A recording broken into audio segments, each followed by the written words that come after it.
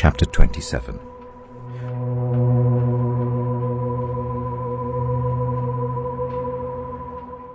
When it was decided that we would sail for Italy, Paul and some other prisoners were handed over to a centurion named Julius, who belonged to the imperial regiment. We boarded a ship from Adramyttium, about to sail for ports along the coast of the province of Asia, and we put out to sea. Aristarchus, a Macedonian from Thessalonica, was with us.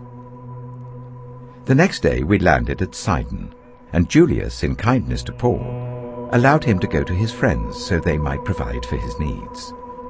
From there we put out to sea again and passed to the lee of Cyprus because the winds were against us. When we had sailed across the open sea off the coast of Cilicia and Pamphylia, we landed at Myra in Lycia. There the centurion found an Alexandrian ship sailing for Italy and put us aboard. We made slow headway for many days and had difficulty arriving off Cnidus.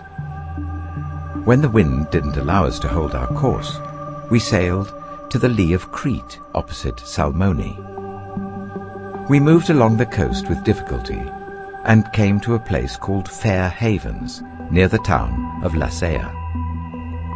Much time had been lost, and sailing had become dangerous because by now it was after the Day of Atonement. So Paul warned them, Men, I can see that our voyage is going to be disastrous and bring great loss to ship and cargo and to our own lives also. But the centurion, instead of listening to what Paul said, followed the advice of the pilot and of the owner of the ship. Since the harbour was unsuitable to winter in, the majority decided that we should sail on, hoping to reach Phoenix and winter there. This was a harbour in Crete, facing both southwest and northwest. When a gentle south wind began to blow, they saw their opportunity. So they weighed anchor and sailed along the shore of Crete. Before very long, a wind of hurricane force, called the Northeaster, swept down from the island. The ship was caught by the storm and could not head into the wind. So we gave way to it and were driven along. As we passed the lee of a small island called Cauda, we were hardly able to make the lifeboat secure, so the men hoisted it aboard. Then they passed ropes under the ship itself to hold it together. Because they were afraid they would run aground on the sandbars of Syrtis, they lowered the sea anchor and let the ship be driven along. We took such a violent battering from the storm that the next day they began to throw the cargo overboard. On the third day they threw the ship's tackle overboard with their own hands. When neither sun nor stars appeared for many days and the storm continued raging, we finally gave up all hope of being saved. After they had gone a long time without food, Paul stood up before them and said, Men, you should have taken my advice not to sail from Crete. Then you would have spared yourself this damage and loss. But now I urge you to keep up your courage, because not one of you will be lost. Only the ship will be destroyed. Last night, an angel of the God to whom I belong and whom I serve stood beside me and said, Do not be afraid, Paul. You must stand trial before Caesar, and God has graciously given you the lives of all who sail with you. So, keep up your courage, men, for I have faith in God that it will happen just as he told me. Nevertheless, we must run aground on some island. On the fourteenth night, we were still being driven across the Adriatic Sea, when about midnight the sailors sensed they were approaching land. They took soundings and found that the water was 40 meters deep. A short time later they took soundings again and found it was 30 meters deep. Fearing that we would be dashed against the rocks, they dropped four anchors from the stern and prayed for daylight.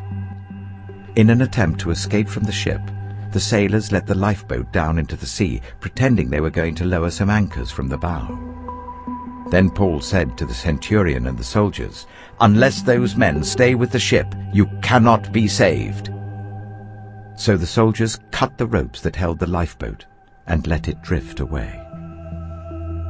Just before dawn, Paul urged them all to eat.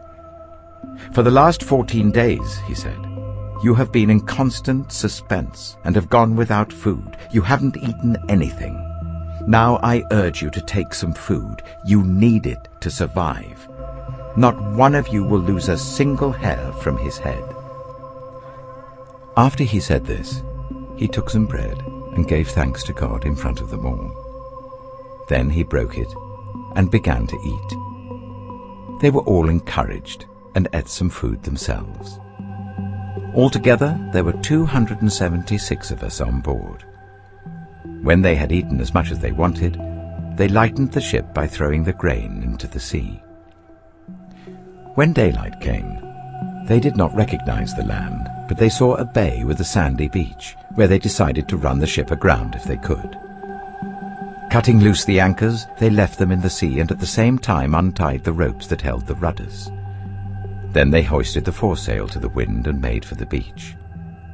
But the ship struck a sandbar and ran aground.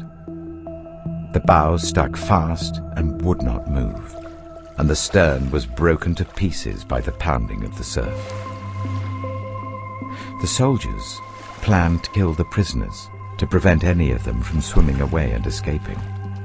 But the centurion wanted to spare Paul's life and kept them from carrying out their plan.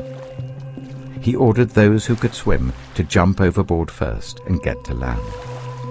The rest were to get there on planks or on other pieces of the ship. In this way, everyone reached land safely.